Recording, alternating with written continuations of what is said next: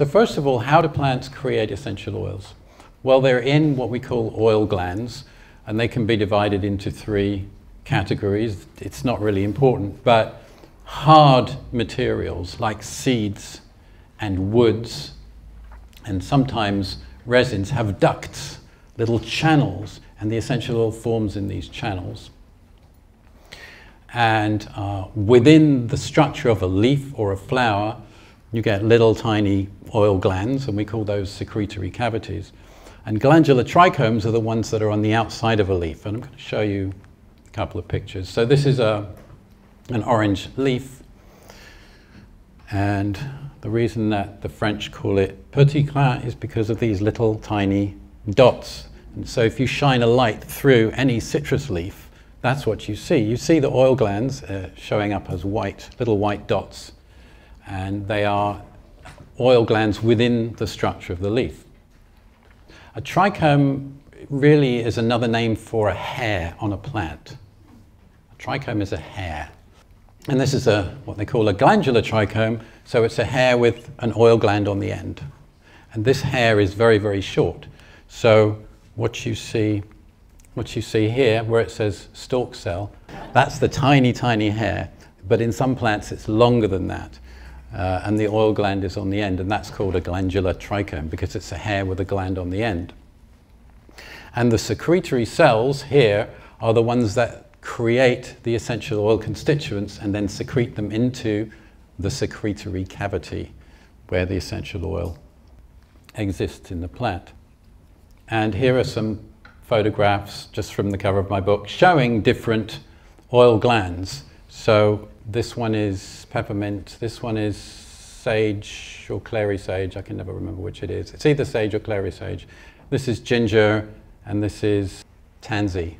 So these ones here, these are the oil glands here. These are um, glandular trichomes. So there's the hair, and there's the oil gland on top. So just to give you an idea of what they look like with great magnification.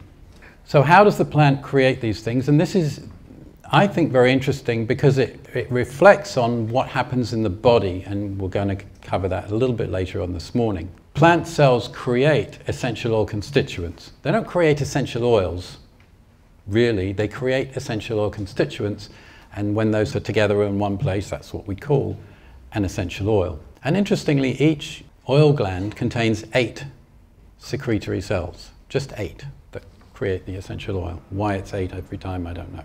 So in the secretory cell, you have sticky fluidy stuff that's called the cytosol, and you have little bodies called plastids, and sesquiterpene molecules are created in the cytosol, in the fluid, and monoterpene molecules are created in the plastids. I don't know if that has any cosmic significance. It's just that's what happens. So in the cytosol, this is the kind of pathway of biosynthesis. So biosynthesis means created in the plant or created in nature, as opposed to synthetic, which is you know, man-created. So biosynthesis means it's created in nature. And there are different pathways for sesquiterpenes and for monoterpenes. And it's not important for you to remember these words and these names. Uh, but I am going to show you in a moment, we're going to talk about one or two of them.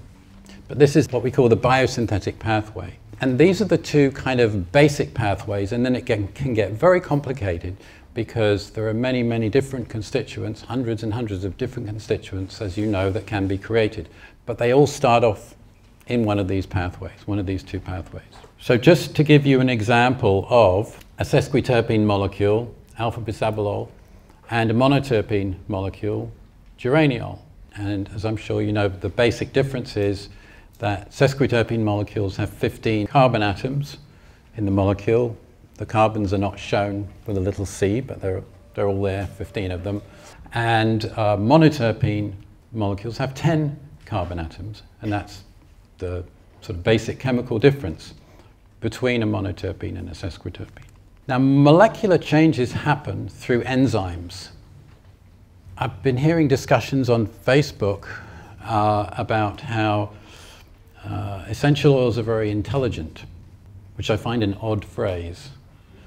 And you know the intelligence of essential oils, and um, that they can basically adapt to whatever you need. Take an essential oil, and then it does whatever you need doing. But you know, an essential oil can't change itself. It can't transform. The only type of molecule that can do that transformation is what we call an enzyme. And enzymes are very large proteiny molecules. And this enzyme, alpha bisabolol synthase, takes one of these starting molecules, farnesyl diphosphate, and changes it into alpha bisabolol. So it kind of like sucks in the molecule, does its magic, and then spits out a different one. That's how these constituents are created in the plant by enzymes. And this is what happens when geranyl diphosphate or pyrophosphate, it's the same thing, is transformed into limonene. It's a process that goes through several steps. One, two, three, four steps.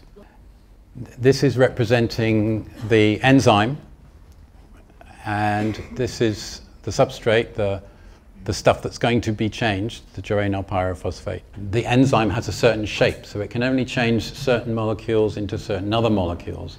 And that's why the enzyme has that name. It, it does that particular job. And this enzyme is called limonene synthase, or limonene synthase.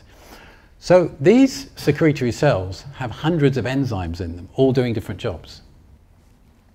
Why does nature put so much energy into the creation of these essential oil molecules?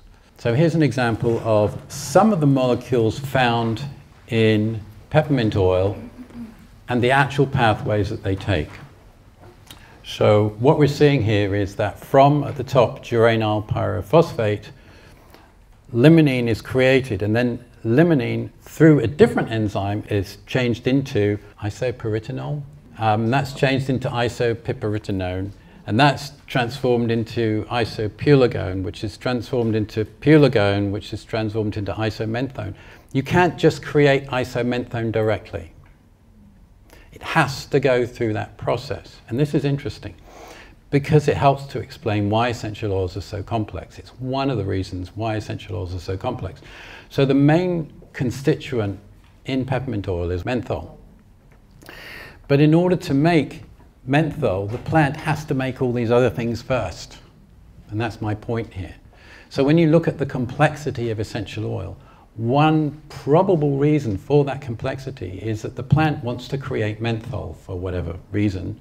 Uh, I'm going to address the reasons in a moment. The plant wants to create menthol, but in order to do that, it has to go through these different stages. And so some of these constituents, you could say, are left over from the biosynthetic pathway. Maybe the plant wants to create pulegone as well. Maybe it does. I'm, you know, I'm not saying it doesn't, but it does kind of help to explain why essential oils are so complex and why we have sometimes you know, 100 trace constituents in very, very, very tiny amounts. Perhaps they're just leftovers from these pathways. The amount of a constituent that is created is determined by the genes in the plant, by the genetic profile of the plant. And so when we talk about chemotypes, when we say, you know, this is a thymol chemotype of thyme, and this is a linalool chemotype of thyme, the difference is determined by genes in the plant, and the genes will instruct the enzymes to create more of this constituent or more of that constituent. So you can, you can actually look at the DNA of a plant and say, okay, that DNA corresponds to this chemotype that DNA profile corresponds to this chemotype.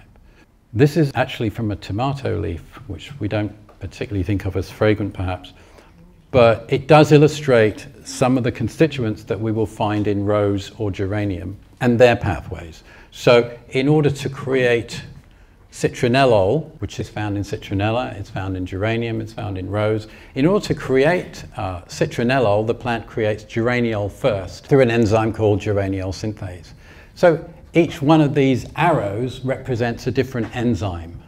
In order to create citronellal, which is down here, and citronellal is the main constituent of citronella or Eucalyptus citriodora, the plant has to go through that pathway again. It also kind of explains why in peppermint oil we have menthone, menthol, pulegone, these similar constituents, one being created from the other, and the same here from a tomato leaf to a geranium leaf or a rose flower, you'll find most of these constituents in all of those because one's being created from the other. It also helps to explain why isomers are often found together because one is created from the other. So you have alpha pinene, beta pinene. You always find them together. You never find one without the other.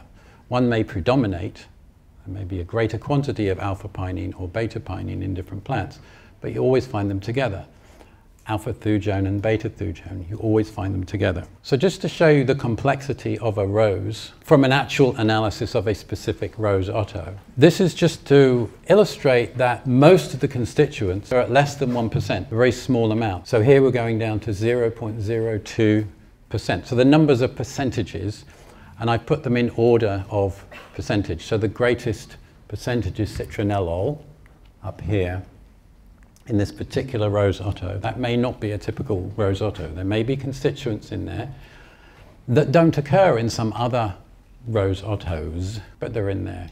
And if you're familiar with constituents, you will see many familiar names like eugenol, linalool, methyl salicylate here, which is the main constituent of wintergreen oil. You know, and, and most constituents recur in, in many different oils in different amounts. I don't mean that every constituent is in every oil, but they, you know, the plant's not reinventing the wheel with every essential oil. There are many constituents that occur in many plants. But that's just to show you the complexity of actually a fairly typical essential oil. Citrus oils look that complex. Lavender oil or tea tree oil looks that complex. I know there's this thing that rose oil is much more complex than any other, other essential oil. It isn't. Most essential oils have about 100 constituents, which is what you see here. I think this is 108 or something like that. Some essential oils only have 10 or 20 constituents. They are fairly simple, but that's not typical at all.